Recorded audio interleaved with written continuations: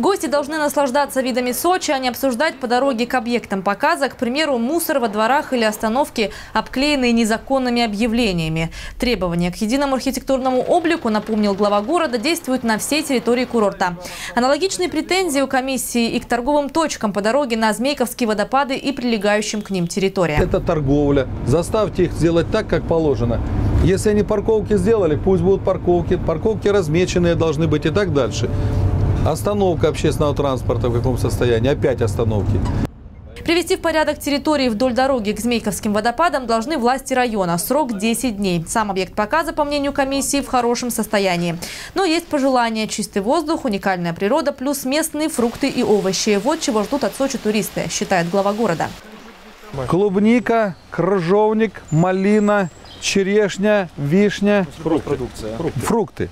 Потому что те, кто к нам едут, они, конечно, хотят, здрасте, э, вот этих южных фруктов, помидоры даже, если они есть. Нарядные палатки с фруктами и овощами предложено установить рядом с каждым экскурсионным объектом. Торговать там разрешают только местным производителям витаминной продукции.